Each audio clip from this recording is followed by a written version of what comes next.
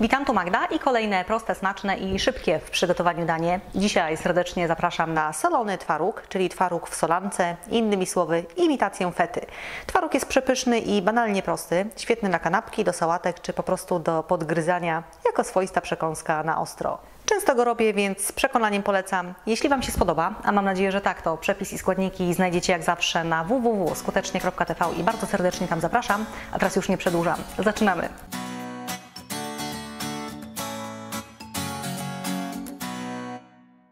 Najpierw kilka słów o twarogu. Powinien być zwarty i ścisły, najlepiej o wyższej zawartości tłuszczu, bo taki chudy, czy na przykład o zawartości 0% tłuszczu, po prostu kruszy się w solance. Oczywiście to zależy od twarogu, więc warto wypróbować zawsze, ale ja najchętniej sięgam po taki o wyższej zawartości tłuszczu. Na przykład bardzo chętnie sięgam po serek włoski z Lidla, ten taki okrągły w gomułce, bo wyjątkowo nam w tej wersji smakuje, ale spokojnie to może być dowolny twaróg, byleby był taki zwarty właśnie. Podsumowując zatem, chudy u mnie się nie sprawdza, bo finalnie się rozwala. Półtłusty jest na granicy, po prostu zależy to od sera. Najlepszy jest zwykły tłusty twaróg w kostce, w krążku, w gomułce, jaki macie, byle był zwarty. To bardzo ważne. Teraz solanka. Moje proporcje to dwie łyżki soli, zwykłej soli na litr wody. Ja zazwyczaj biorę wodę ostudzoną, przygotowaną i aby przyspieszyć ten proces, to sól najczęściej rozpuszczam w mniej więcej połowie ciepłej wody, czyli pół litra ciepłej wody, dwie łyżki soli, mieszam, i kiedy się rozpuści, dolewam pół litra zimnej wody, czyli uzupełniam po prostu tak, żeby myślę litr solanki. Mieszam i gotowe. Solanka przed zalaniem sera powinna być zimna lub w temperaturze pokojowej. Absolutnie nie powinna być cieplejsza, stąd właśnie uzupełniam zimną wodą.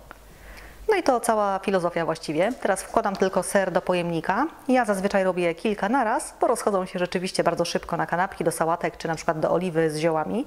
Takie serki też wędzę i jest to bardzo proste, ale o tym może w osobnym filmie. No dobra, serki w pojemniku, to teraz zalewam je solanką. Jeśli mam jej za mało, to dorabiam, zachowując oczywiście podane wcześniej proporcje. Jeśli za dużo, to wykorzystam ją na przykład następnym razem.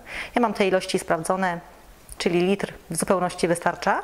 Ser powinien być całkowicie zanurzony, tak żeby nic nie wystawało spoza solanki i moczę go w ten sposób przynajmniej przez 3 dni, ale spokojnie można dłużej, nawet do tygodnia. Przykrywam, wstawiam do lodówki i codziennie przewracam na drugą stronę. I to w zasadzie jedyna czynność, jaką trzeba tu teraz wykonywać, ale warto o nim pamiętać, bo wtedy y, ser nasoli się równomiernie. Zatem raz dziennie, wtedy kiedy sobie przypomnę, wyjmuję pudełko, otwieram, przewracam ser, przykrywam i ponownie do lodówki. Po kilku dniach jest to gotowe. Serki wyjmuję na talerz i przez kilka godzin osuszam. To jest trzymam na powietrzu, po prostu na stole w kuchni, czasem bez przykrycia w lodówce, szczególnie w upały. Nic nie wyciskam, nie odciskam, po prostu wyjmuję ser z solanki, leży i sobie schnie. I po kilku godzinach gotowe. Tak to wygląda. Można kroić i serwować. Pracy przy robieniu takiego sera nie ma praktycznie żadnej. Robi się sam, jak zresztą widzieliście. No i kroi się także bardzo ładnie. Zobaczcie, nic się nie kruszy. Jest pyszny, w smaku ciekawy i bardzo oryginalny. Uwielbiamy go od tak po prostu do pieczywa, jak i do sałatek. Smakuje świetnie także w oliwie z czosnkiem i suszonymi pomidorami, czy z innymi ulubionymi dodatkami. Wtedy kroję go po prostu w kostkę lub w inne mniejsze kawałki. Dodaję czosnek, suszone pomidory, zalewam oliwą i zostawiam pod przykryciem w lodówce, a kilka dni później mamy pyszną, serową przekąskę gotową. Generalnie chętnie używam go wszędzie tam, gdzie przepisy wołają o fetę. Choć fetę też bardzo lubię, rzecz jasna, i absolutnie jej tu nie neguję. Mam nadzieję, że sposób Wam się podoba i że jeśli go jeszcze nie znacie, to zechcecie zaprosić taki twaróg do Waszej kuchni i na Wasze stoły. Smacznego!